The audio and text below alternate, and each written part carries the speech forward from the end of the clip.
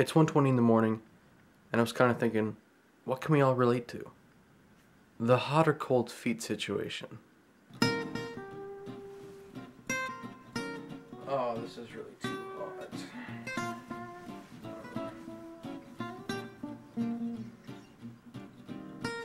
Oh, this is way too cold. Let's get these back under here.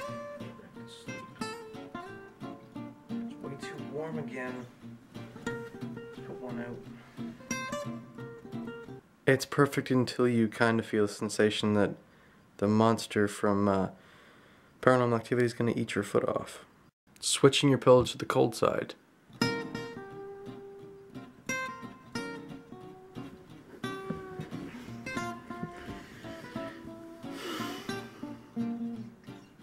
This one doesn't really need an explanation. When you're all cozy and warm underneath your blankets,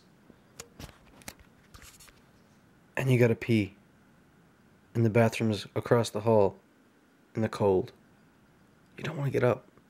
And this last one, I'm pretty sure we've all done before. The race between you getting in your bed uh, just after turning off the lights.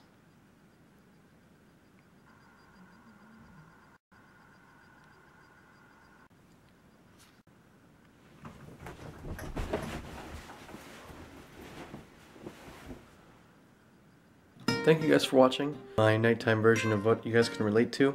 Uh, if you enjoyed, really good appreciated.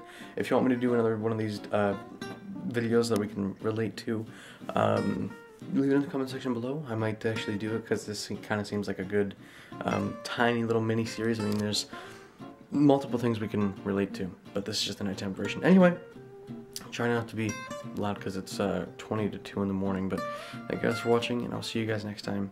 Peace.